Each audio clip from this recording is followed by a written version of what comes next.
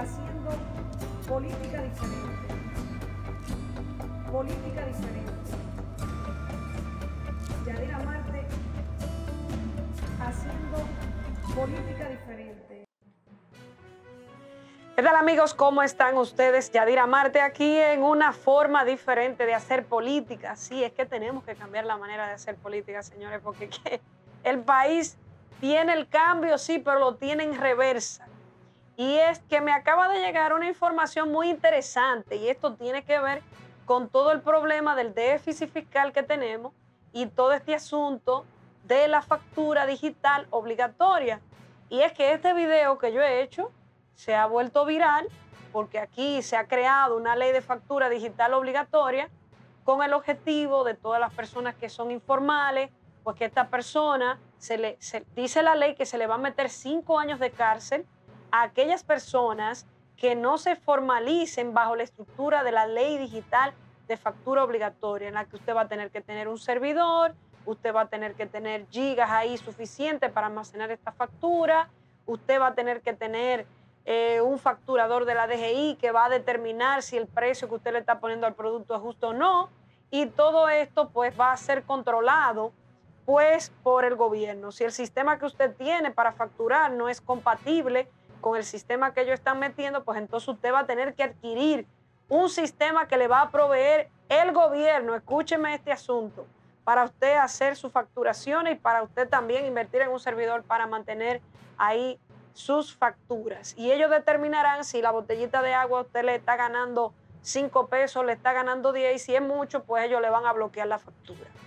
Sin abundar mucho en este tema, quiero entrar en la información que me acaba de llegar, en la que se presenta, obviamente, una secuencia de una, eh, de una demanda que se le hace por vía de participación ciudadana, se le hace un sometimiento a que se investigue eh, los déficits de más de 200 mil pesos aproximadamente en el año 2013. Esto viene arrastrando pues una cantidad de situaciones en, las, en los cuales, ¿verdad? Entendemos que a raíz de todo ese dinero que también en este proyecto que voy a presentar aquí, en esta documentación que voy a presentar aquí, también figura Leonel Fernández.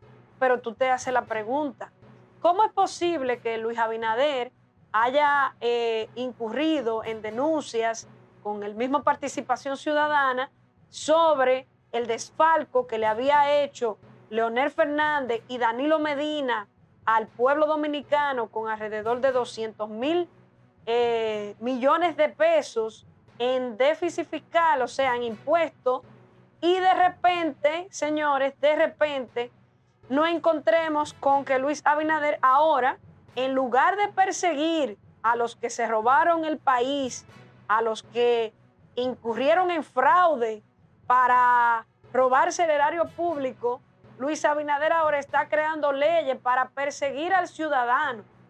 Luis Abinader está obligando al ciudadano que si él no paga impuestos le va a meter cinco años de cárcel.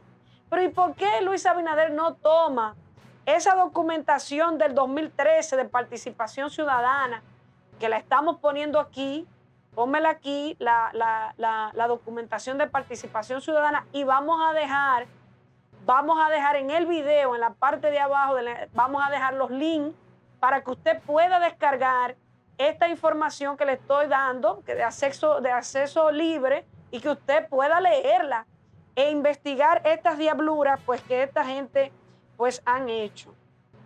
Es lamentable que el PRM, después de haber sometido eh, informaciones con relación a, a los fraudes y que se aplicó esta amnistía fiscal por parte de Danilo Medina y que luego que se aplicó esa amnistía fiscal, entonces con ese déficit que había de, de, recaudación, de repente ahora eh, Danilo y Leonel sean los salvadores de la República Dominicana. Yo quiero que producción, que producción me ponga un videíto de Danilo que anda por ahí que decía que la persona que agarrara el país, pues ya usted sabe, se lo iba a llevar quien lo trajo.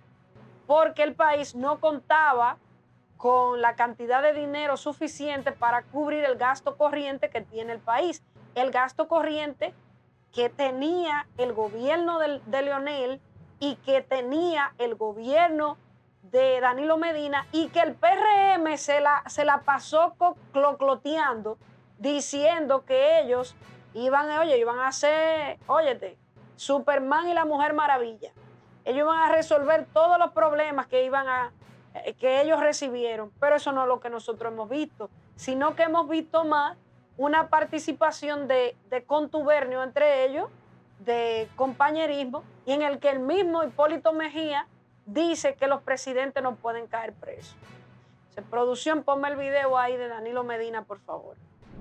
Ahora a tiempo. El problema del déficit, yo sé que el próximo gobierno no tendrá nada que hacer en la República Dominicana, porque el nivel de deuda del país es sumamente alto y no tendremos posibilidad de seguir buscando dinero para pagar. Bien, entonces dicho esto por Danilo, tenemos aquí la ley número 253-12 que habla sobre el fortalecimiento de la capacidad recaudatoria del Estado para la sostenibilidad fiscal y el desarrollo sostenible, número 10697 del 13 de noviembre del año 2012. Aquí también, pues tenemos aquí del licenciado Francisco Domínguez Brito, Procurador General de la República, a quien se le envía participación ciudadana, le envía a este, al licenciado, le envía esta información, en donde aquí se pautan, señores, todas las, las cosas anteriormente enviadas o explicadas.